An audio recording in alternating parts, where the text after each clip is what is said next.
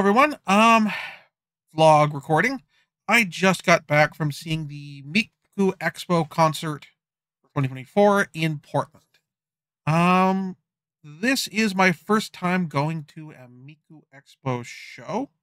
Um, I don't recall this is the only time, first time they've been in Portland. Let me double check. Uh, I think this is, um,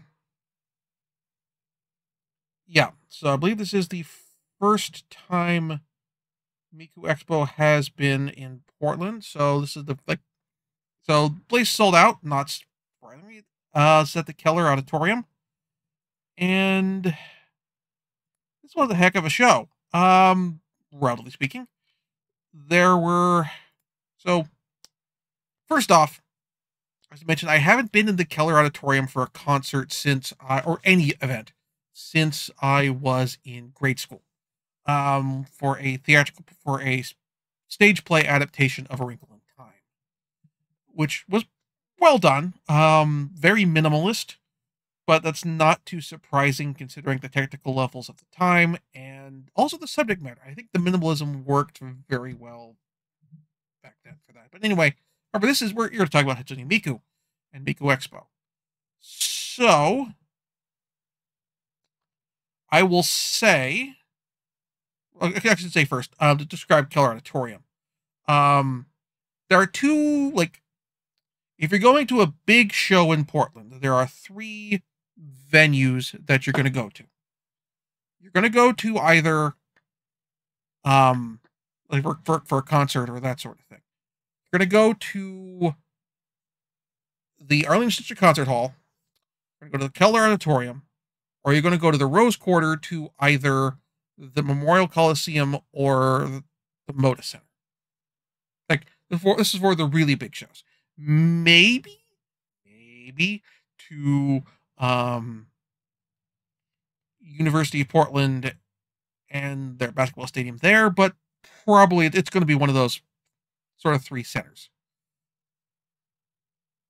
Memorial Coliseum and Moda Center are for the really big shows. AEW and like and NXT played like Memorial Coliseum and the Moda Center. Um, WWE plays the Moda Center. Big arena rock shows like when Electric Light Orchestra comes comes to Portland, when Iron Maiden come to, came to Port is going to come to Portland, are playing the Moda Center. And, and one of the two venues at the Rose Quarter the Arlene Schnitzer Concert Hall. That is where you go to see the orchestra, to see Portland Symphony. Um, if you're going to see, like, if you go like go there for like symphonic classical rock music or symphonic um like video game music shows like video games live and um the final fantasy concert and the legend of zelda concert those played at such a concert hall. If you're going to see, and the Keller Auditorium is for big stage plays, musicals, comedy, uh, like the big stand-up comics, because more seating. Um,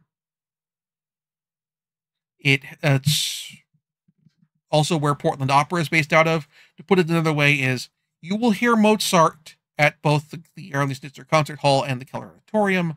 Um, if you are hearing magic flute, in fact, you might even hear the magic flute at both locations. The difference being is at the Schnitz, it's going to be um, play. It'll be just a symphony playing music from the magic flute, maybe having a vocalist from Portland Opera come out to sing a uh, particular song or aria portion of, of the uh, of um of say the magic flute. If you are going to see if you're going to the Keller Auditorium, you are going to see a staging of the Magic Flute. And so, for something like Miku Expo, really the venues are probably that, that work best for the setup are going to be either Memorial Coliseum Moda Center or Keller Auditorium. And I am recording this the night of the concert, which is also puts us in the middle of women's final of uh, the women's NCAA basketball championships, which are currently being held at the Rose Quarter. So, yeah, Miku Expo ain't, ain't getting in there. Uh, even if they book, even if like everything is just in the in the Moda Center and nobody's using the Memorial Coliseum, the tournament is using all the parking, so nobody has parking. So the Miku Expo concert doesn't have parking for the attendants attendees to go at Memorial Coliseum. So Keller Auditorium was always kind of the only option here. Uh about the staging step, I'm going to have a picture of the setup in the uh, over underneath the closing credits. But basically, the setup was we had so if you've never seen a live Hatsune Miku Vocaloid concert, um, they are it is the Vocaloid vocal track playing with Vocaloid usually using some form of holography, not always, um, and with live instruments at with with a live group of uh, musicians providing the musical accompaniment. Which means, like, if you're doing something, like, say, for example, they didn't have Senbon Zakura on the set list, but say if you had Senbon Zakura, you need to have a particularly good keyboardist or guitarist to on your group um, to handle the guitar track, the guitar line for the song. So you have some decent session musicians, even if they're not necessarily in like a big name rock band at the time. So you have them in the background. Um, and then in front of them, we have where the Vocaloids are, which has a big black. Reddit says it's a says it's actually a big LED screen. From some of the perspective from like elements that are put up for some of Miku's um, numbers. I'm going to say not. I am getting. I got the impression it was more that a more a technical thing to help with the holography. That they that with the setup as far as the venue, they felt that the background setup was perhaps a little too confined to um that it might interfere with the actual projection, and so decided to do the setup that way. At least from where I was kind of sitting, or I, I or I didn't quite get a sense of proper sense of depth of field. Probably if I had gotten a little slightly either more centrally focused seats or uh, a little closer, I might have gotten a bit more of that. Um, no, was fine.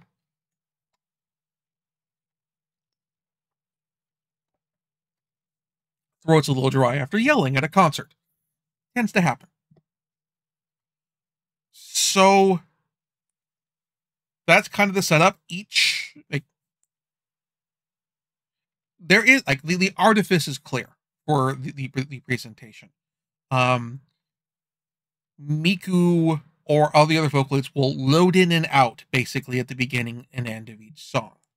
Um it's a nice, neat visual effect when they do, but it, it is also clear that they have put that they put together the animation for each song, uh, the choreography for the dance moves and that sort of thing. They are limited to a certain space on stage, but I suspect that's also the case with like the full hol- um, holographed, like the Japanese shows and lar- in, in larger venues as well. So that's not surprising, or I didn't feel as a particularly negative there. I, was, I expected that. I've seen Hatsune Miku live concerts before. I watched them on Crunchyroll. I've watched them at, like the, the live one they did for Anime Expo. Um, I've seen subtitled videos from live concerts on YouTube. I'm familiar with how they work. I have an idea of how Hatsune Miku how, how a Vocaloid uh, Miku Expo concert works. So I wasn't I wasn't too upset with it seeming a little more restrained. As far as the actual performance itself, again, the band is great. Um, To shout out to the members. Um, I pulled up the uh, Miku Expo tour information from uh, the Vocaloid Wiki Um, particular shout out to uh, bassist Leanne Bose, um, drummer Dylan Wood, and guitarist Vixen Diary. I couldn't see the keyboards for uh, Tobias Witt very well. Um, like looking at these people's like set list, but like they're like um uh like like um Instagram pages. Like I do definitely get a sense that like, oh hey, these guys are like fairly bit like like rockers. Like rockers and punk punk adjacent in a few cases. Um and like they're and like I, I got the sense from this that like like they're like they're definitely digging this uh like like i mean like they're this is a big like this is a like, like i appreciate the fact that while again i knew going in that the vocaloid performances themselves are pre-prepared. They do not necessarily have the level of spontaneity that that I'd get from a more standard live show uh, from a rock act. There that the backing band brought that sense of spontaneity and energy to help like the audience the, the crowd was amped from the from from the jump and I definitely got that sense that the backing artists were very much feeding off of that and um was really and they were amping up the audience as well. I got um they I I never had a sense uh, oh they're just that they're here that they're, just here they're uh, that I oh I I I, I kind of wondered a bit about that with some stuff like for for something like Miku Expo um, but I'm glad that was not the case. I'm, I'm glad that they dug it. That that that that there was that sense of energy with the backing up band. Um, I wasn't able to get merch, unfortunately, because the line for the concert to get in, as far as for like just general admissions, you bought your ticket because nobody's buying ticket stores was sold out. Um, ran around two blocks, not was two blocks long, ran around Serpentine two blocks. So that was that was one of the longer lines I've been, and this is also one of the biggest, con- bigger concerts I've been to in quite some time.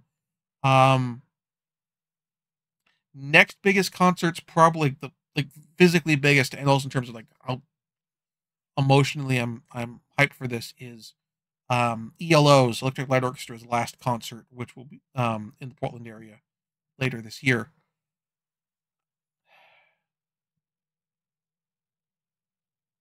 I otherwise um to talk about why I enjoy Hatsune Miku and Vocaloid and that sort of thing.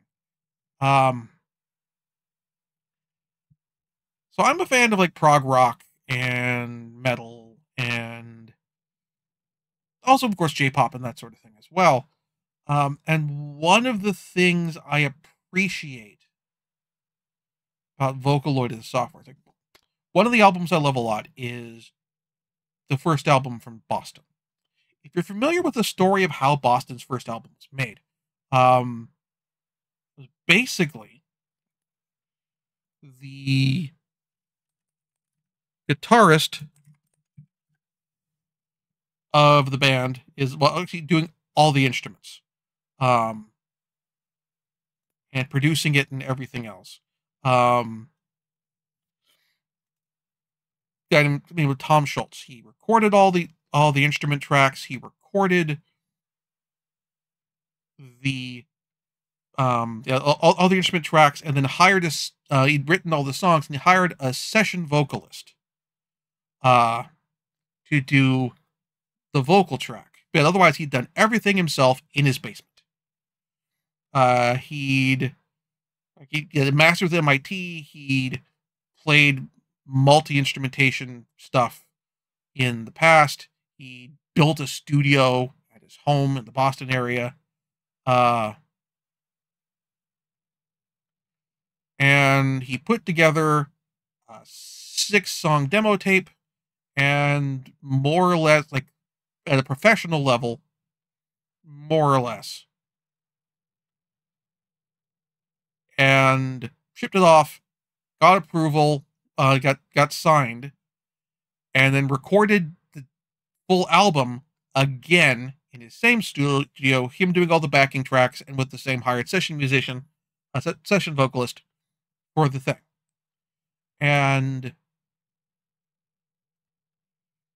then like he had to hire session musicians for the actual tour when it came time to go touring, but otherwise, like it's just Tom Scholz. And so I bring this up because when I listen to something like the really great like Vocaloid songs written for Vocaloid or performed by Vocaloid, like especially stuff from like ryo of Supercell or Supercell in general, I think about Boston, that uh, like that first album, their self the, the self-titled debut album, because it has that level of quality and craft to all of the, to all of this work. Not not every Vocaloid song is is perfect, but like this, a lot of these songs, particularly ones that get picked up to be used in the tour, the ones that are licensed to use in the video in the rhythm games and that sort of thing is like I have this similar vibe of like it's a group or even a solo individual who've put these like well-crafted songs together and vocal and using Vocaloid, using Hatsune Miku or Megurine Luka or Len and Rin Kagamine or Meiko or, Kai, or Kaito, any of them is basically I can't get a session vocalist. I don't know a session vocalist, but I have this song that I feel the need to create, so I'm going to make it, and I'm using this software instead and learning the Vocaloid as an additional instrument. And so that is kind of awesome. And like if you if you view punk it, it, it as a maker thing. Not necessarily in the sense of punk must be three chord two chords in the truth six string guitar cheap drum six string guitar that you bought from a pawn shop cheap drums uh etc if your view of punk is no circuit bending can be punk, chip tunes can be punk, like chip particularly chip tunes made with like an old with a Game Boy, can or I mean punk that that Casio keyboard that you that you can get for 25 30 40 bucks from a goodwill that's cheaper by a that's a, cheaper than that guitar from the pawn shop that cost you $300. Um, in that sense, Vocaloid is almost as punk as it gets. Um, yeah, like Miku Expo is a heavily produced multi-million dollar tour playing larger venues than smaller punk clubs but the songs they're playing are songs that are made by people in their apartments, in their garage. Maybe they rent some studio space or practice space to do the backing tracks themselves, but they're do but doing it like this very small operation and then just uploading it to Nico Nico or YouTube or whatever and hoping that they catch on and or SoundCloud and hoping it catches on and sometimes it does. And that's and in some cases for a lot of these they catch on to such a degree that they get licensed to be used in an international tour or on an internationally distributed video game rhythm game where the focus is the song itself not just having it ambient in the background. And I dig that. And the audience of people who went to see this show, a sold out audience of people of all ethnic groups, um, straight people, trans people, gay people, um, of people who are of all walks of life. I saw people with like heavy metal T-shirts coming like in line to see the show, or like people who clearly like, are the kind of people like I I see them at a metal show. If I went if I went to a metal show, if I went, damn it. The point is the, the all walks of life brought together by uh, Vocaloid and Hatsune Miku, and I think that's awesome. If Miku Expo does come back to Portland, and with this sold out show, I hope, certainly hope that would be the case. Uh, I certainly would go again. And if you have the opportunity to go see uh, Hatsune Miku live in your town, I definitely recommend taking the opportunity. It is very much an extraordinary experience.